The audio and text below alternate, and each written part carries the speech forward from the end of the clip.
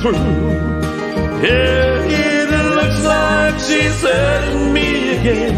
Oh Lord, and I can feel my world